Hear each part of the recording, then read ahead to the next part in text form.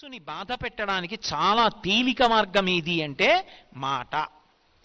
మాట చేత పెట్టినటువంటి బాధ అంత కష్టంగా ఉంటుంది. అందులో మీరు ఎవరి విషయంలో మాట్లాడుతున్నారు అన్నదాన్ని బట్టి ఆ పాపం విపరీతంగా పెరిగిపోతుంది. నేను మీతో ఒక మాట చెప్పాలి అంటే సాధారణంగా మనం చేసినటువంటి హింస వల్ల పాపాన్ని మూట కట్టుకుంటాడు. అది ఒక కోణంలో ఉంటుంది. తాను చెయ్యకూడని పని ఒకటి చేశాడు అనుకోండి ఒక ప్రాణిని బాధపెట్టాడు ఓ కుక్క అలా వెళ్ళిపోతోంది. నా చేతిలో కర్ర ఉంది. నా చేతిలో కర్ర ఉంది కదా అని అలా వెళ్ళిపోతున్న కుక్క మీదకి విసిరితే దాని కాలు విరిగింది అనుకోండి కాలు విరిగిన కుక్క ఎంత కాలం నిష్కారణంగా నేను కొడితే బాధపడిందో అంతకాలము నేను కూడా కాలు విరిగి బాధపడాలి. ఇప్పుడు ఈశ్వరుడు ఏం చేస్తాడంటే కర్మాకర్మ ఫలప్రదాత. అందుకే కాల కలయతామహం అంటాడు. భగవద్గీతలో కృష్ణుడు నువ్వు జీవుడిగా ఎప్పుడు ఏం చేశావో నాకు తెలుసు. కాలమునందు లెక్క కట్టి ఫలితాన్ని ఇస్తానంటాడు కాలోహి బలవాన్ కర్త సతతం సుఖదుఃఖయో నరాణం పరతంత్రాణం పుణ్య పాపానుయోగత అంటాడు. దేవీ భాగవతంలో వ్యాస భగవానుడు కాలము మహాబలవత్తరమైనది. ఈశ్వరుడు కాలరూపంలో ఉండి గత జన్మలలో నేను చేసిన పాపపుణ్యాలు లెక్కలో పెట్టుకుని ఈ జన్మలో పాపానికి దుఃఖం ఇస్తాడు పుణ్యానికి సుఖాన్ని ఇస్తాడు లెక్క చెప్పి ఇవ్వవలసిన అవసరం ఆయనకి లేదు. చాటు నుండి ఫలితాన్ని ఇస్తాడు. చెట్టు చాటు నుండి రాముడు వాలికి ఫలితాన్ని ఇచ్చినట్టు. ఆయన ఎదురుగుండా వచ్చి కోటేశ్వరరావు ఫలానా జన్మలో ఫలానా పేరుతో ఉన్నప్పుడు ఓ కుక్కని కొట్టావాయ్ అందుకని ఆ ఫలితాన్ని ఇవాళ నీకు ఇస్తున్నానోయ్ పదకొండు గంటలకి నీ మోకాల మీద కూడా దెబ్బ తగులుతుందోయ్ మోకాల మీద నిప్పి మూడు రోజులు ఉంటుందోయ్ అప్పుడు కుక్కకు మూడు రోజులు ఉందోయ్ ఇన్న ఆయన నాకు చెప్పక్కల్లా మోకాల్ని పెట్టేట్టు చేస్తాడంతే. అది ఈశ్వరుడంతే. ఆయన శాసకుడు. ఒకడికి చెప్పవలసిన అవసరం ఆయనకు ఉండదు. కానీ కర్మ ఫలితం మాత్రం నడిచి వెళ్ళిపోతూ ఉంటుంది. ఇందులో మీరు ఒక్క విషయాన్ని జ్ఞాపకం పెట్టుకోవాలి. నేను ఒక కుక్కని కొట్టాను అనుకోండి అది మళ్ళీ ఆ దెబ్బ రూపంలో నన్ను బాధిస్తుంది ఎప్పుడు. నేను ఈ జన్మలో భక్తిగా ఉన్నాను అనుకోండి ఈశ్వర ఎప్పుడో తప్పు చేసి ఉంటాను. లేకపోతే ఎందుకు మనుష్య జన్మ వస్తుంది? మనుష్య జన్మ అంటే పాప ఫలితం పుణ్య ఫలితం రెండు అనుభవించాలి. కానీ తండ్రి బాధ పెట్టకు. బాధ పెట్టావనుకో నీ పాదముల ఎందు అనురక్తి తగ్గిపోయి ఆ బాధ గురించి ఆలోచిస్తాను. వద్దు. నా పాపములు క్షమించన్నాను అనుకోండి అలా కుదరదు. చేశావు కాబట్టి ఫలితం అనుభవించాలంటే ఇప్పుడు నీ చేసిన కర్మ గొప్పదవుతుంది ఈశ్వరుడు గొప్పవాడు కాడు. ఈశ్వరుడు ఏం చేస్తాడంటే భక్తితో జీవనం చేస్తున్న వాడి యొక్క కర్మ ఫలితాన్ని తగ్గిస్తాడు. అందుకే నమశివాభ్యాం అశుభాపహాభ్యాం అని ఆపదామపహర్తారం దాతారం సర్వసంపదాం. ఈ శ్లోకాలు ఎందుకు వచ్చాయి ఇప్పుడు నేను భక్తితో ఉన్నాను. గత జన్మలలో చేసిన పాపానికి ఫలితం ఇవ్వవలసిన సమయం ఆసన్నమైంది. నేను గుండెలు బాదుకుని ఏడవలసినటువంటి పరిస్థితిని ఈశ్వరుడు కల్పించాడు. వీడిప్పుడు మారాడు నన్ను నమ్మాడు నీ చెప్పినట్టు బ్రతుకుతున్నాడు. కాబట్టి వీడి కష్టాన్ని తగ్గిస్తానని పాము కరవవలసిన వాణ్ణి చీమతో కరిపించి విడిచిపెట్టాడు. అది ఆయన శక్తి ఆయన ఈశ్వరుడు. ఆయన అలా ఎందుకు చేశాడని అడగడానికి ఆయన అసలు ఎందుకు అలా చేశాడో మనకి తెలుస్తుందా? చేసిన కర్మ తెలియదుగా? నాకే తెలియనప్పుడు ఇంకొకరికి ఎలా తెలుస్తుంది అడగడానికి? అది ఈశ్వరత్వం అంటే. కాబట్టి ఒక్కొక్క తప్పు పాపాన్ని మాత్రమే ఇస్తుంది. మహాభక్తులైనటువంటి వారి జోలికి వెళ్ళారనుకోండి అది ఎంత ప్రమాదాన్ని తీసుకొచ్చేస్తుందంటే యుక్తాయుక్త విచక్షణ లేకుండా. శాస్త్రం మీద సరి అయిన అవగాహన లేకుండా విషయం గురించి సక్రమంగా తెలుసుకోకుండా కేవలము అవతల వారిని బాధ పెట్టడానికి తెంపరితనంతో ప్రవర్తిస్తే భగవంతుడు ఏం చేస్తాడంటే అవతారంగా కిందకొచ్చేస్తాడు. అవతారము అన్న మాటకు అర్థం ఏంటో తెలుసా? తార అంటే ఎక్కడో ఉండడం తారస్థాయిలో పాడాడంటారు. అవతార వ్యతిరేక పదం. మాంసనేత్రంతో చూడడానికి యోగ్యంగా కిందకొస్తాడు. ఏదో చెచ్చుతో అన్నాను అనుకోండి అందరికి అర్థం కాదు. మాంసనేత్రము ఏం బెగబెట్టి గుండెలు బాదుకోక్కర్లేదు అర్థం అవడానికి ఆ మాటే వాడాలి. మాంసనేత్రంతో చూడడానికి యోగ్యంగా కిందకి దిగి వస్తాడు ఆయన. ఇప్పుడు ఎందుకు వస్తాడో తెలుసా? అసలు ఆయన అలా రావడానికి కారణం ఏమిటో తెలుసా? ఆయనే చెప్పుకున్నాడు పరిత్రాణాయ సాధూనాం. పరమ భాగవతోత్తములైన వారిని రక్షించడానికి వస్తాను అలాగా వినాశాయచ దుష్కృతాం. ఆ వాళ్ళని బాధ పెట్టిన వాళ్ళని చీల్చి చెండాడడానికి రూపంతో కిందకు వచ్చేస్తాను అంటే ఈశ్వరుడు కూడా ఉద్వేగం పొందేది ఎప్పుడు అంటే భాగవతుల జోలికి నువ్వు వెళ్ళావా? ఆ హింస కట్టి కుడిపేస్తుంది. ఈశ్వరుణ్ణి దింపేస్తుంది భూమి మీదకి. అంత క్రోధానికి కారణమవుతుంది. అది సామాన్యమైన దోషం కాదు. అందుకే ఎప్పుడైనా సరే భగవంతుణ్ణి నమ్ముకున్న భక్తుల జోలికి వెళ్ళేటప్పుడు ఒకటికి పదిమార్లు ఆలోచించుకుని వెళ్ళు అని చెప్తారు. మారీచుడు రామాయణంలో రావణాసురుడితో మాట్లాడుతూ అంటాడు సీతాపహరణం చెయ్యి సీతాపహరణం చెయ్యి అన్నాడు. అంటే మారీచుడు అన్నాడు ఏమిటో సీతమ్మను అపహరించి తెమ్మంటున్నావు అంత తేలిక అనుకుంటున్నావు ఆ దోషం ఉట్టినే పోతుంది అనుకుంటున్నావా సీతమ్మను అపహరించి తెస్తే రాముడు కనపడకపోతే సీతమ్మ ఏడిస్తే సీతమ్మ కన్నుల వెంట నీటి చుక్క పడితే రావణ నువ్వు ఒక్కడివే చచ్చిపోతాననుకుంటున్నావేమో? వెతికి వెతికి వేటాడేస్తాడు రాముడు. కళత్రాణి చ సౌమ్యాని మిత్రవర్గం స్థైవ యదీచ్ఛసి చిరం భోక్తమ్మ కృధారామ విప్రియం. ధర్మాన్ని నమ్ముకున్న రాముడి జోలికి వెళ్ళవద్దు. రామో విగ్రహవాన్ ధర్మ సాధు సత్యపరక్రమ మారీచుడు చెప్పాడు ఈ మాట రాముడు రాశీభూతమైన ధర్మము అని. రాశీభూతమైన ధర్మమైన రాముడి జోలికి వెళ్ళావా? కట్టి కుడిపేస్తుంది అది అలా ఇలా కుడపదవు నిన్నొక్కడనే బాధ పెడుతుంది అనుకుంటున్నావేమో అది మళ్ళీ నీకు ఫలితంగా ఇవ్వడం మొదలుపెట్టిన నాడు తెలుస్తుంది. కళత్రాణి చ సౌమ్యాని మిత్రవర్గం స్థధైవచ భార్యలు బిడ్డలు నిన్ను నమ్ముకున్న సైనికులు నీ ఆస్తి నీ ఐశ్వర్యం నీ కాంచన లంక సర్వము నశించిపోతాయి. నువ్వు అలా నిలబడి ఉండగా ఒక్కొక్క తల తరిగేస్తాడు రాముడు. ఒక్కొక్క తల తరుగుతూ ఉంటే దేవతలందరూ వచ్చి పైన నిలబడతారు. నిలబడి శభాషను సంతోషిస్తారు. చచ్చాడు రా పాపాత్ముడు అంటారు. ఆ రోజు తెచ్చుకోకు. రాముడి జోలికి వెళ్ళకు.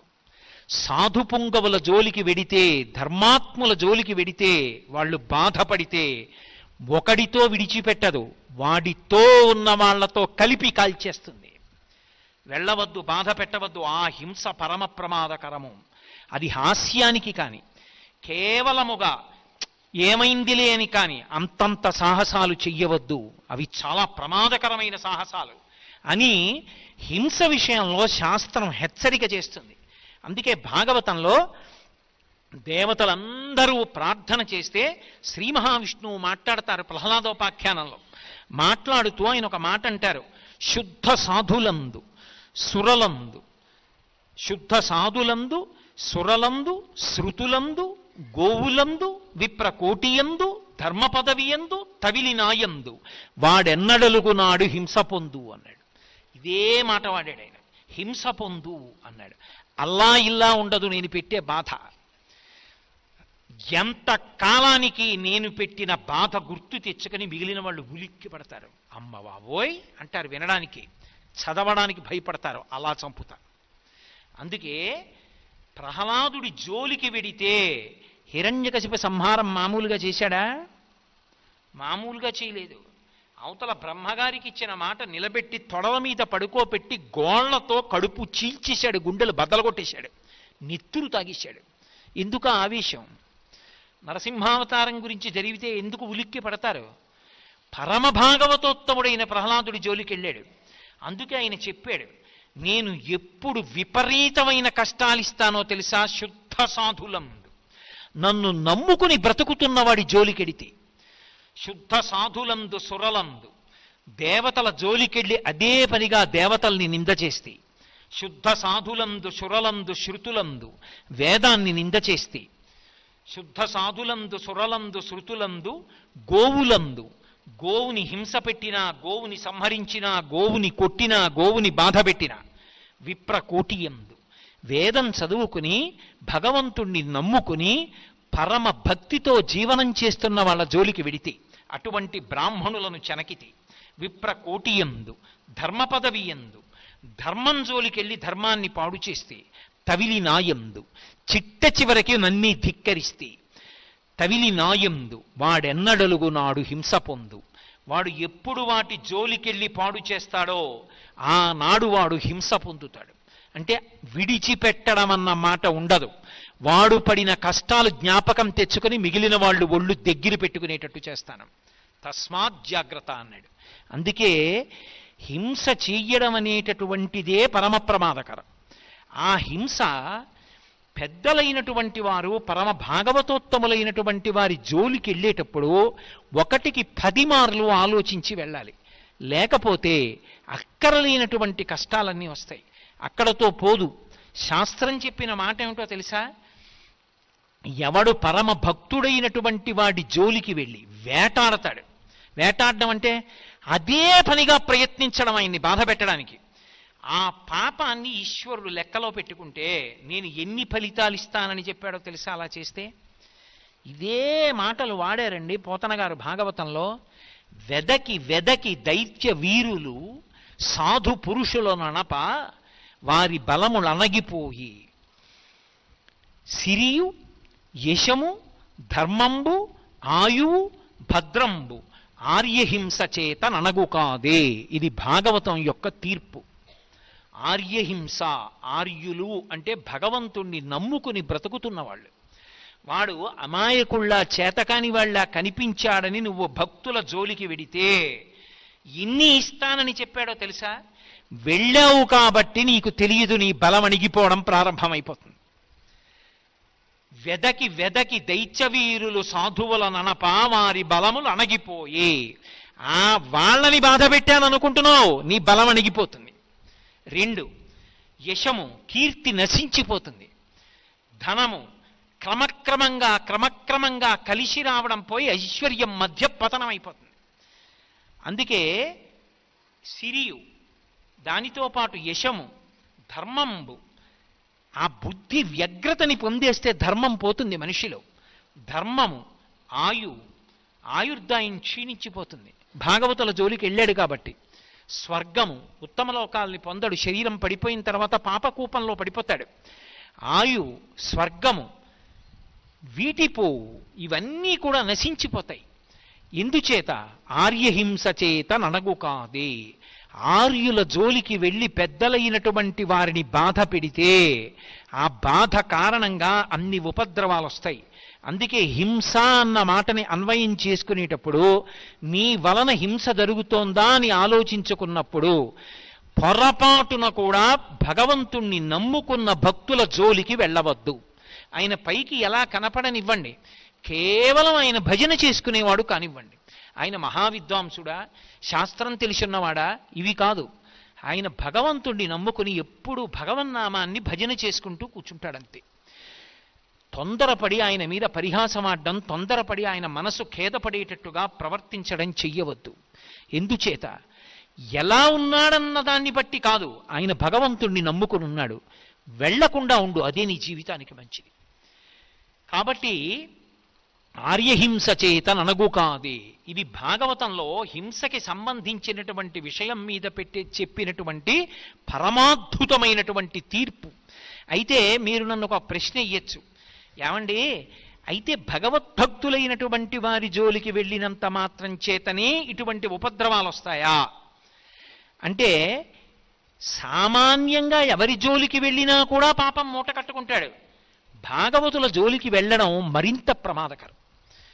ఏదో బ్యాటరీ లైట్లో మూడు బ్యాటరీలు ఉండగా చేయి పెడితే చురుక్కుమనడానికి ఇంట్లో కరెంటు ఉండగా ఫ్యూజులో చేయి పెడితే ధన్మని షాక్ కొట్టడానికి ట్రాన్స్ఫార్మర్ ట్రాన్స్ఫార్మర్ మీద ఎక్కి ముట్టుకుంటే షాక్ కొట్టడానికి తేడాలు ఉండవండి? మూడు షాకులు ఒకలా ఉంటాయా? దేని శక్తి దాందే విద్యుద్ఘాతంలో. కాబట్టి ఏదైనా పొరపాటే నువ్వు అలా ముట్టుకోకూడదు. కానీ కోరి కోరి ట్రాన్స్ఫార్మర్లు ఎందుకు ముట్టుకుంటావు? అందుకే అది ఎక్కకూడదు. దాని మీద పుర్రె బొమ్మ రెండు ముక్కలు ఇచ్చారు అదే భాగవతంలో పోతన గారు చెప్పారు. వెళ్ళకు దాని జోలికి పరమ ప్రమాదం ఒక జన్మతో పోదు. కొన్ని జన్మలు కట్టి కుడుపుతుంది. ఎందుకురా నీకు? దాని జోలికి వెళ్ళకు. అటువంటి హింస చెయ్యవద్దు అన్నారు. ఇది సాధు పురుషుల విషయంలో ఎంత అన్వయమవుతుందో సాధు జంతువుల విషయంలో కూడా అంతే అన్వయమవుతుంది. అది విచిత్రం. అందుకే పరీక్షిన్ మహారాజు గారు మాట్లాడుతూ ఒక మాట అంటాడు. ఆయన కలిపురుషుడి దగ్గర మాట్లాడుతున్నప్పుడు భూదేవి వంక తిరిగి ఒక మాట అన్నాడు. అమ్మా సాధువులకు జంతువులను బాధించడి కలుల భంజింపని రాజాధము ఆయు స్వర్గము శ్రీ ధనము వీటిపోవు సిద్ధము తల్లి అన్నాడు. ఎక్కడైనా సరే అమ్మా రాజైనటువంటి వాడి యొక్క ప్రధాన లక్షణం ఏమిటో తెలుసా? సాధువులకు జంతువులకు. సాధువులైన జంతువులు అన్న మాటకు అర్థం ఏమిటో పోతనగారే చెప్పారు భాగవతంలో. ఏదో వాహినులైన జలంబునందు జలంబు వాహినులైన వాహినులందు జలంబు త్రావి అంటారు. ఎవ్వరూ తాగనటువంటి నీళ్ళు ప్రవాహంగా వెళ్ళిపోతుంటే అందులో ఉన్న నీళ్ళు తాగి వాసవి అయిన గడ్డి తిని ఎవ్వరూ తిననటువంటి గడ్డి తిని అది కూడా గబగబా తిని బ్రహ్మచారి దగ్గర నుంచి సన్యాసి వరకు తాగడానికి వీలైనటువంటి పాలనిచ్చి తల్లి లేనటువంటి బిడ్డలు తాగడానికి కావలసిన పాలనిచ్చి ఇహమునందు నువ్వు చేసిన పాపాలు పోగొట్టుకోవడానికి అభిషేకం చేయడానికి పంచామృతాల్లో ఒకటైన పాలనిచ్చి ఆ పాలతో చేసిన పదార్థాన్ని ఈశ్వరుడికి నైవేద్యం చేస్తే అపారమైన ఫలితం ఇచ్చి ఇన్నిటికి యోగ్యమైన పాలని పాలలోంచి పెరుగుని నేతిని ఇచ్చి తన గోమయం తను విడిచిపెట్టినటువంటి పేడ తీసుకొచ్చి భూమి మీద అలికితే యజ్ఞం చేయడానికి కూడా భూమి పవిత్రమవుతోంది. అటువంటి పేడని ఇస్తూ పంచగవ్యములలో ఒకటైనటువంటి మూత్రాన్ని ఇస్తూ నీకు అక్కర్లేని గడ్డిని నువ్వు తాగని నీటిని తాగి నీకు ఇహమునందు పరమునందు పనికొచ్చేటటువంటి ఇన్నిటిని ఇస్తున్నటువంటి పరమ సాధుమూర్తి అయినటువంటి గోవుని బాధ పెడితే దాని అర్థం సాధువులకు జంతువులకు అంత మనకక్కర్లేనివి పుచ్చుకొని మనకి ఇహము పరము ఇన్నిటిని కల్పించగలిగినటువంటి అద్భుతమైన పదార్థములను ఇవ్వగలిగినటువంటి జంతువులను బాధ పెడితే నిష్కారణంగా ఈశ్వరుడు అంగీకరించాడు.